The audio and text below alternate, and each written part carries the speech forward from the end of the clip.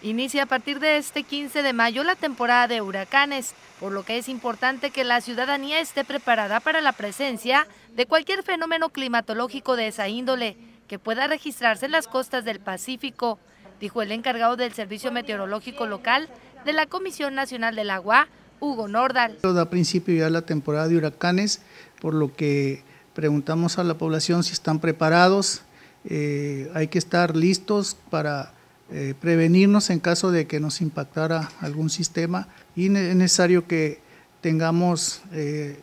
la noción de, la precaución, de estar preparados para poder eh, estar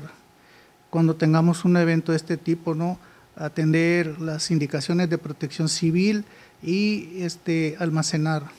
procurar ya desde este momento almacenar botellas de agua, alimentos no perecederos,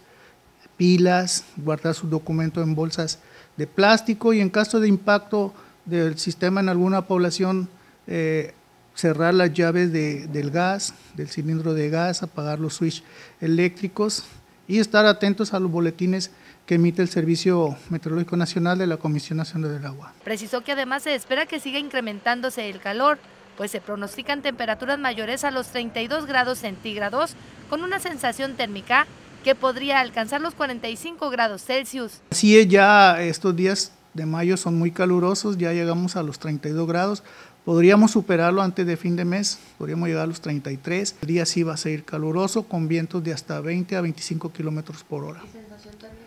La sensación térmica ya va a ir variando por la humedad que ha estado subiendo, bajando y te podría ser de hasta 45 la sensación térmica dependiendo de la humedad y las condiciones corporales de cada persona. Puntualizó que ya se tiene el registro de los nombres que podrían llevar los huracanes que puedan formarse en las costas nacionales, dentro de los cuales se contemplan más de 20 posibles nombres.